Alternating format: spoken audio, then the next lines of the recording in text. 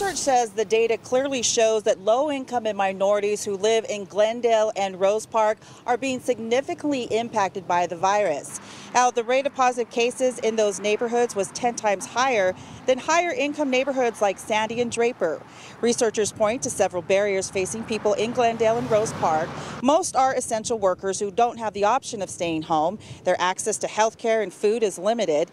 Now, we spoke to Representative Angela Romero, who lives in the heart of Glendale. She says COVID 19 testing needs to be ramped up to protect these vulnerable communities.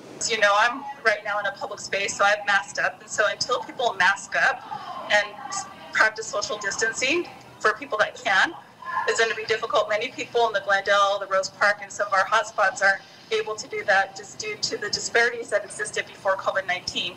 And so COVID 19 is just exposed that. The study also found that the air quality improved more on the east side of Salt Lake County than the west side, since wealthier people had the option to work from home. Romero says that she is working with other lawmakers to enact policies that will address these shortfalls so that families can recover. In Salt Lake City, Tamara Vaifanua, Fox 13 News, Utah.